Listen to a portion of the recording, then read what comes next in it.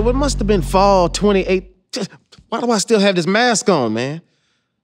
Guess I was a little cold. You know, you put that mask on, you start feeling cold. Taking your mask off feels like, must feel like what women feel like when they take their bra off at the end of the day. It's gotta be the same feeling. Whew, feel better already. All right, I can breathe, man. So it must have been the fall of 2018. I just made the decision to leave my job to pursue a better job, to pursue another endeavor. I had already basically got hired at a Range Rover store. Um, and, you know, I was supposed to have my start date. We had already booked it, and, you know, I'm, I'm, I got the interview, everything went well. I got my start date. But then a good friend of mine, uh, Shanae hits me, and she's actually, I think it was uh, Shanice who hit me and said that I would be a good fit. I should audition to be on the Steve Harvey show. And I was like, hell yeah, I'm about that. What do you need? So I'm self taping, you know, I'll figure it out. What do you need? I submitted my self tape. Everybody loves it. And they choose me and select me to be on to do a segment with Steve Harvey. So at this point, after I change my draws, because I'm that excited, you know, I'm calling my mom, I'm calling my people, yo, I'm gonna be on a Steve Harvey show. Just wait, man. Oh, for the shit on these niggas. Just wait, dog. It's going down. Hell yeah. They tell me that I'm filming the Steve Harvey show the same date I'm supposed to start at this Range Rover dealership. So I'm excited. The car business has always been my thing. I'm excited for this first date and this opportunity, but they book it the same day. So I'm like, all right, well, I'm gonna have to change my start date. We're gonna have to figure something out because I got to do the Steve Harvey show. Are you kidding me? He's the king of comedy.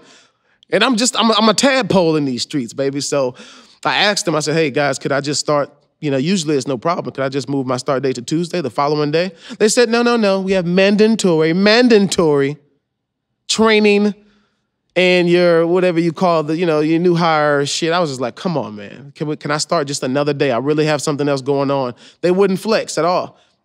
So I did what any real nigga would do during that time. I said, Steve Harvey show, here I come, baby. I'm on the way. This is what I came here for. So I made the decision to, to pass that first date uh, on the job that I had, which was tough because I got a family. Like I got a, a, daughter that I love very much, wifey who's looking for me to be the provider. You know, she one of them southern women. A man needs to provide and protect. So I was like, oh shit, man, Charlie, how you gonna pass with this job? But anyway, I was like, yo, y'all know what I'm here for.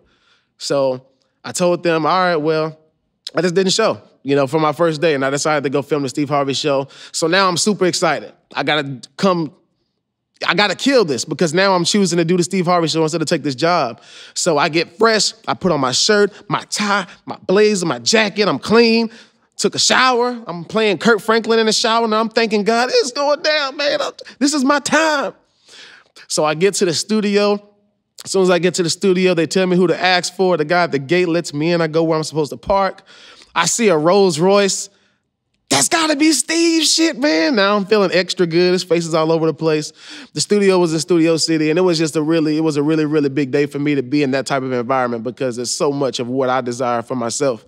So to see someone else that came from nothing to make himself great, it was just, it was a good energy to be on. You know, not like I was always the biggest Steve Harvey fan. Oh yeah, he's my favorite. You know, I, I got a lot of respect for what he's done. So I'm on the studio lot tripping out right now and I'm going through my lines and we kind of are preparing what we're gonna do for this set that they have scheduled for me and Steve. And it's basically about like a potluck. You know, we're doing this potluck kind of thing where we're talking about, you know, the things that you don't like eating when you're at these office parties and shit. So I'm like, cool, I'll go through my things. I'm kind of getting familiar with what I have to say. And I'm trying to get Steve's to give me some advice. Y'all know that's what he does. He gives advice about everything. My relationship, my man, my husband. Well, first of all, you know he always does that shit. So I practice my, my little shit. I'm ready to go. Now it's game time. You know, I'm nervous. I peed three times before it's time for me to go on set, get it all out my system. I'm sitting on stage with Steve, and I'm like, all right, man, this is the moment. He already didn't really say much to me. You know, he was, he was very light. He was professional. But I'm over, hey, Steve, how you doing? What's happening? Looking like a slave that just got out his first, day. hey, how you doing? I'm just so happy to be here. How you doing? Everything good? And it just, we just didn't quite gel for whatever reason, man. I, it was time for me to start getting my words out. This nigga cut me off. And I was like, God, Steve, I'm trying to be great, man. But it just it, it, it didn't gel. You know, he, you know, I think maybe it was our personalities. He's just outspoken, but for whatever reason, it just didn't mix and blend well. So we were supposed to go to, to, to another segment of the stage where, you know, we got the table and the food set up. I mean, I'm ready.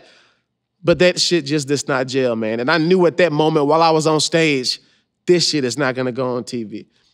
And I feel like I just felt it because it just didn't it didn't roll over smooth. So, needless to say, you know, I'm super was super excited about the experience. You know, Ice Cube was on the same episode, and you know, a couple of other you know celebs, and I'm sitting in the dressing room like, yo, this finna be crazy.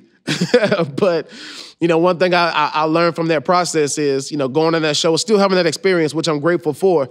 But you know, I, I learned at that time that you know, we all have our plan. We all think what we know is going to be our big break or how our uh, our trip to success is going to look, but you don't know. And I think if you just continue to live to live your life like I don't know, you know, I don't know where it's coming from, but I know it's coming. You know, so that's what you know that that experience taught me is to embrace the process, and uh, it's not gonna come when you want it, but it's gonna come in due time, man. So trust the process, embrace the process, and keep chasing greatness, baby. So that's what I've been living by ever since.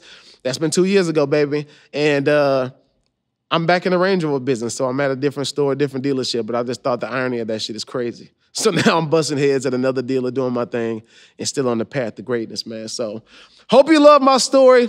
You can expect to hear crazy ass stories, wild stories, all here on Do Tell with Laugh After Dark. And guess who's gonna be your host? That's right. I'm your boy, Charlie Wilson. I'll see you guys on the next episode. Look, look at y'all out here tuning in. Okay, okay. No, hey, thank you for tuning in. You make sure you continue to tune in. Tell your friends, your baby mama, your baby. Ah, ah, ah, tell him too. Make sure y'all like, follow, subscribe, support all things. Do tell. I've been your host, Charlie Wilson. I'm here with Laugh After Dark, baby. You know how we do it.